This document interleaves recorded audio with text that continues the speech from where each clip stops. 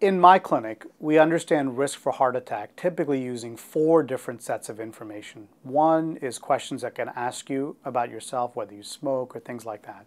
The second is things I can measure in the blood, like cholesterol.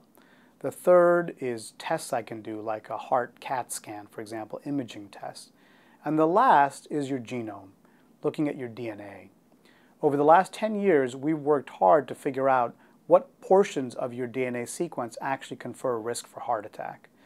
And we knew all along that there are certain mutations in genes that confer a very large effect, but that only explained a small portion of people who had heart attack, particularly at a young age.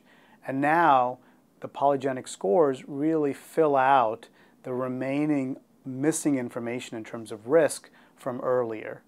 And this polygenic risk information really captures a bunch of people that we missed earlier in terms of their genetic risk of heart attack.